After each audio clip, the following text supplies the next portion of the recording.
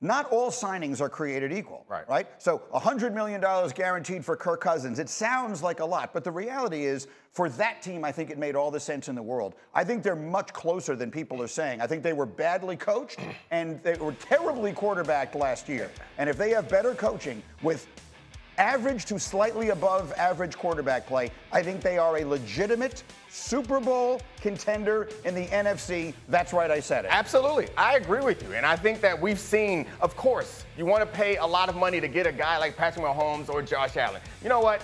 They ain't out there. They're not going to be available. This is what you, we have seen that the 49ers have gotten close and been capable of winning Super Bowl. We think that the Lions are capable of winning Super Bowl. That's the type of quarterback that they've added to a roster that is similar to those rosters. So I, I like it as a move. Who cares? You don't want to win the transaction. Who cares about how much you're paying him? Are you a legitimate contender now when you add him? Yes. That's what it costs to get him. Legitimate Super Bowl contender, I said. Kmart. Yeah, that's that's a bridge too far. Bridge too far. Bridge too far. Atlanta can't play with everybody in that division. Uh, Excuse Oh, me, in, that, well, in the NFC. Okay, they now can't we're talking. play with everybody first in the of all, NFC. First of all, I think you guys are sleeping on the Bucs. I understand that that in that division, the Falcons upgrade, huge upgrade at quarterback. But did we forget that the Bucs always win that division, and they are five for five on signing their own guys in free agency? So I don't even know if the Falcons are winning their division. Number one, when I look at Green Bay, when I look at the Packers and the offseason that they have had, okay. When I look at the 49ers, their roster, even Dallas, like I, and then the Eagles, monster move getting Saquon, right? So I, I'm not. Uh, they are improved, but I don't think Super Bowl contenders. Super Bowl contenders. D Wood, yay or nay?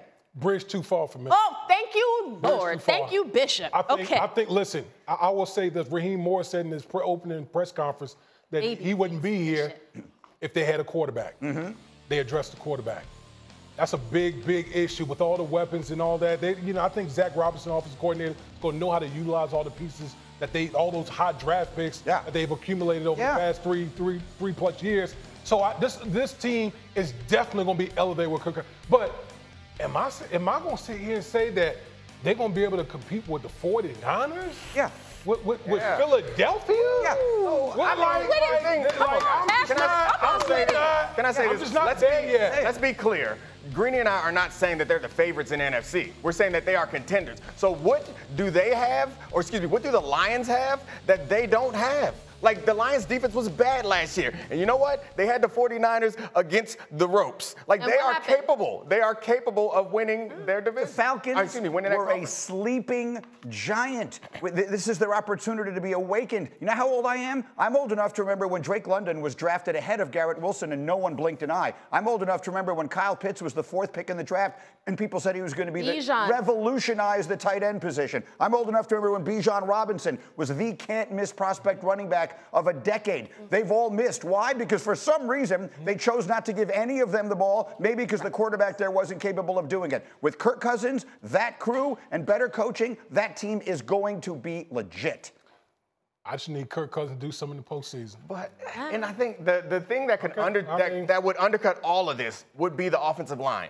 They're good too. Yeah. Oh, yeah, I no, they know. I- yeah, that's- so like that's I don't see a reason for pessimism. Kirk Cousins, Cousins is going to be at least average with this great talent around a quarterback that's Am going to I, be at hold least on, average. excuse me, am I sounding pessimistic? You are. How? Yes, you are. And why is How? Kmart I not think looking at me? I said that they're going. I think they're going to know win the? NFC you know What? This is the problem. We just want to crown everybody in March. Let, this is a great move.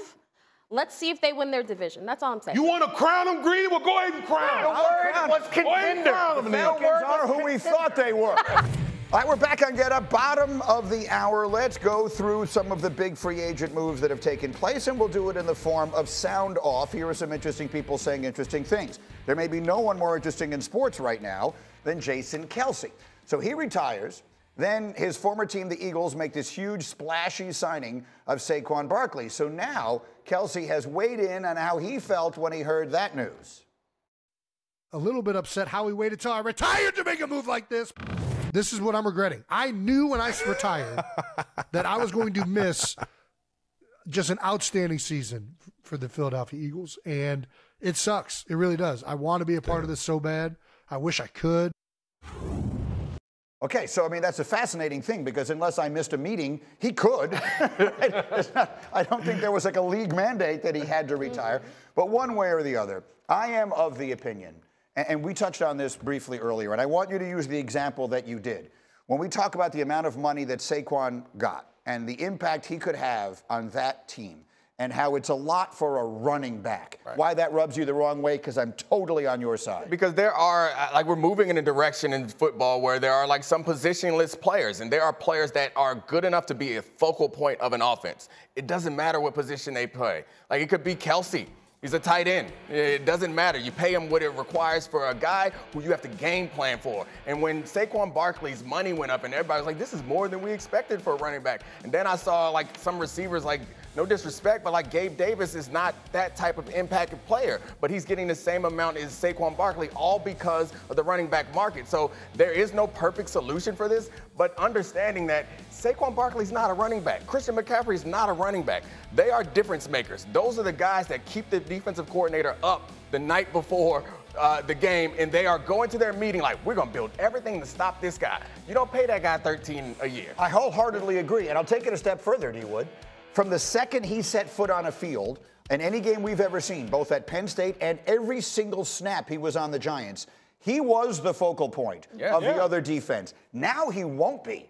Now that that has that load has to be at least shared because they got to worry about AJ on one side, they got to worry about DeVonta on the other side, they got to worry about the quarterback taking off and running. Saquon Barkley, I think I don't know that his volume will be what it has been in the past. I think he is going to have an enormous impact on that offense. Absolutely. And I think the thing is, what I'm curious to see with the Philadelphia Eagles is how much quarterback design runs are they going to get back to? Because remember that, like, that was kind of like part of their downfall offensively. Because we always talk about when quarterback design runs, it's a numbers game. Right. Now you have Saquon Barkley in the same backfield with Jalen Hurts. It, it's going to be unbelievable for Saquon Barkley because, because for so long he was the guy. Yep. Like you go into the game, it's like, okay, we shut down Saquon Barkley. They, they can't do anything. Yep. Now you go to Philadelphia with all these weapons. Like Saquon Barkley has to be jumping for joy being this type in this type of offense. What do you think, Kmart? Yeah, because jumping off of D Wood's point, talking to defensive coordinators all last year, when years I've covered the Giants, when you talk to them about, okay, what do you do to stop this offense? Like it starts with 26. It wasn't starting with eight. Yeah. It literally is Saquon. It will never be easier for him. Like you think about, Hembo sent me this stat. He averaged 99 scrimmage yards per game with the Giants. That is 1,680 yards.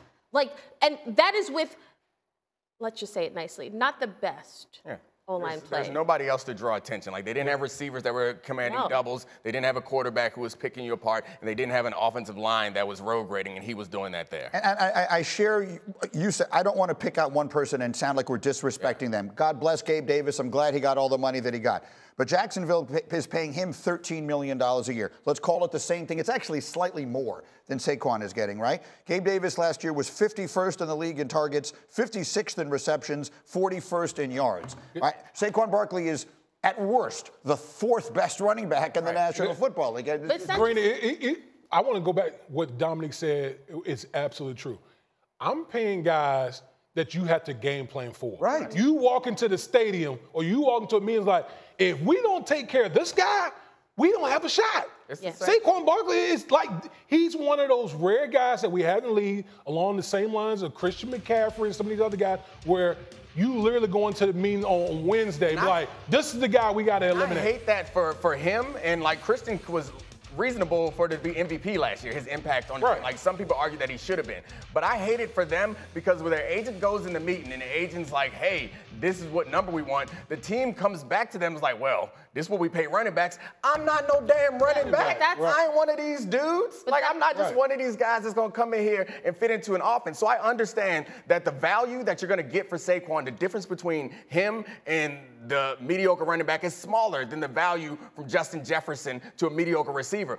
But the impact on your offense is different. It's harder to measure, I think. Well, that was Deebo Samuel's point. Like, exactly. I'm not just one position. Like, Saquon Barkley is a playmaker weapon period. He is a home run hitter still. And when you think about the, when you look at his numbers, you have to add the context of what was around him and him still carrying that offense. Now, if I'm A.J. Brown, Granted, maybe I get less touches, but if I'm DeVonta Smith, I'm like, okay, we have an explosive guy in the run game, but we also have a weapon in the play action game. Like that frees up everybody. Like this offense is going to be very difficult to stop as long as he stays healthy. Let me tell you who couldn't get the ball to George Pickens, who couldn't get the ball to Pat Freiermuth. Ooh. Kenny Pickett couldn't get that, or Russell Wilson wouldn't be in Pittsburgh right now. So listen, I I, I think Russell Wilson's going to uh, going to win the job. When when I, this whole situation, I just think of Ryan Tannehill in Tennessee.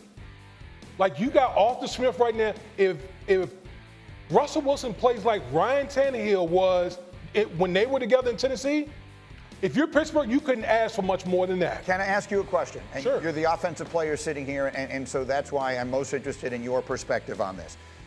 If there is a defense to be made of Kenny Pickett, who obviously has not played well in his first two seasons, generally it is being made that the coaching was a real problem. They Yes. have Matt Canada there as the offensive coordinator. Many people thought that Mike Tomlin let him stay too long, finally fired him during last season.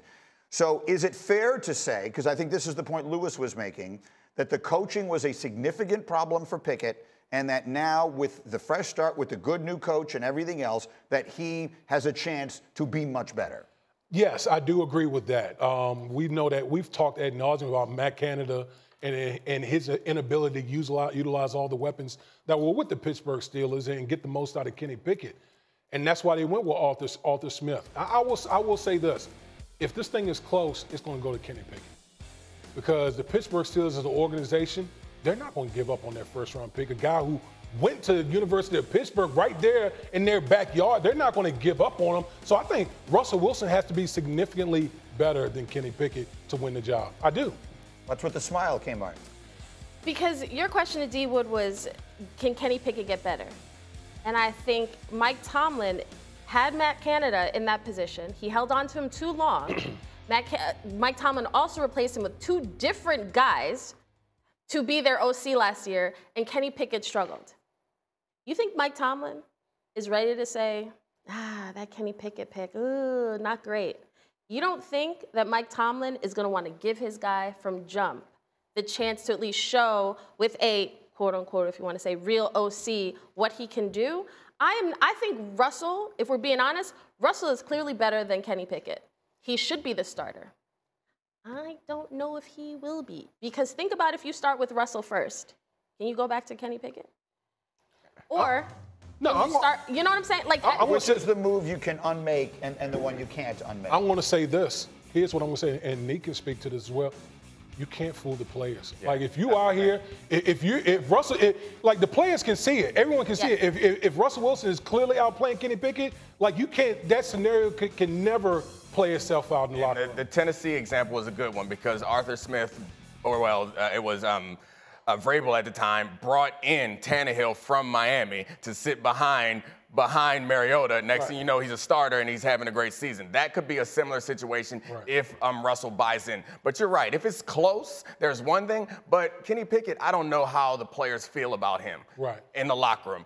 Eh, I don't know what his relationships are. That means a lot. If they are done with him already, which sometimes happens, they can't wait for somebody to come in there, then it don't matter. Russell has to start. If they if they have faith in him and they also believe that he's been like railroaded because of coordinator issues, then here, that, that's that's the thing. Here's all we need to know in Pittsburgh is that guys on that team were excited that Mason Rudolph was throwing them the football, that Mason Rudolph was running the offense, a guy who was literally just chilling on the bench for, for a couple seasons. Maybe we get the rarest of things in the NFL, and that is a true open competition. Right. I mean, I, we always think that we always assume Yeah. that teams are going into it with with vested interest. Well, I hope this works out, but if it doesn't, then we'll go this way. May- Maybe they really have it open. May the best man win. of the organizations that I believe to tell us the truth, it, it is the Steelers. I think that they have stood by what they believe in. And if they say it's going to be an open competition, I believe them. But the bottom line is the players know. It's not Mike Right. Tom. Mike Tomlin's going to say the words, but it's not his decision.